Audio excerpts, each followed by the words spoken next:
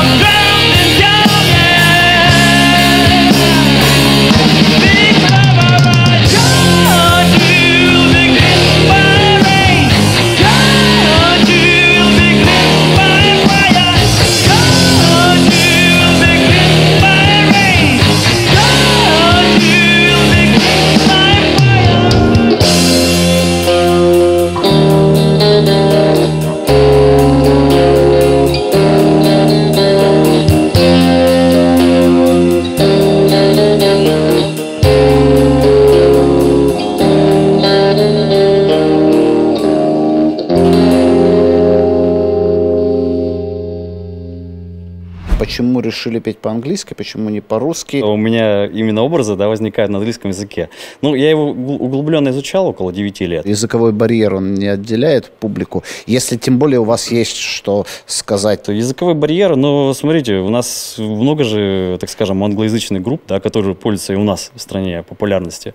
Ну вот, это раз. И второе, английский язык, может быть, он наоборот барьеры преодолевает. То есть не только русскоязычному да, э, публике будет интересно послушать, может, кого-то еще заинтересует.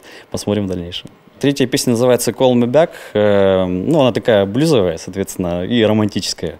Ну вот, она о том, что ну, молодой человек ждет э, свою девушку, ну вот, э, и он набирает ее, у них должно быть свидание, ну вот, он ее набирает по телефону, не может до нее дозвониться, ну вот, и ждет, э, когда все-таки она ответит на его звонок и верит в то, что она все-таки рано или поздно, ну, придет к нему навстречу.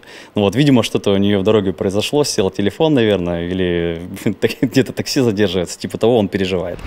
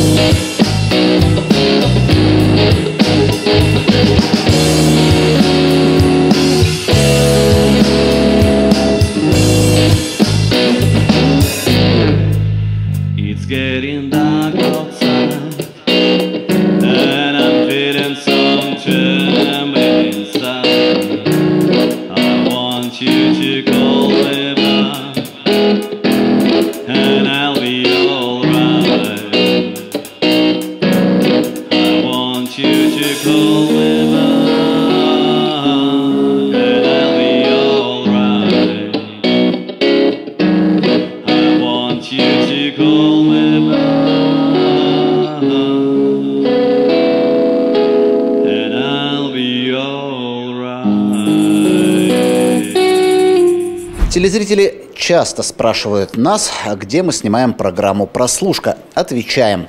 Эту программу мы записали в концерт-студии «Тайм», которая суть годная репетиционная точка, студия звукозаписи и концертная площадка. Все выпуски «Прослушки» ищите в группе телепроекта ВКонтакте. Увидимся через неделю. Пока. Thank